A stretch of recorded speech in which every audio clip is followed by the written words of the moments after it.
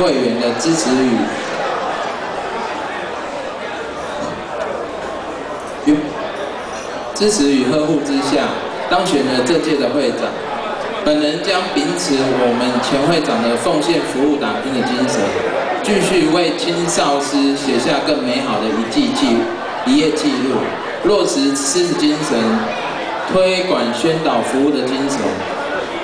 在这，本人定下未来期许的目标跟方向，并且努力实践。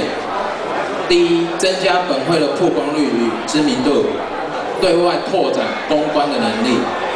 建立人际关系与人脉，学会与人的沟通能力。第二，与国际友人的交流，发展国际的新观念。三，落实会务推广的确实性，稳定会理组织的延续。是，凝聚会员之间的向心力与情感的联系。我相信目标的奠定出来，便是我们进步的动力与方向。努力的将以上的四点做到，将是我今年任内的重点与方针。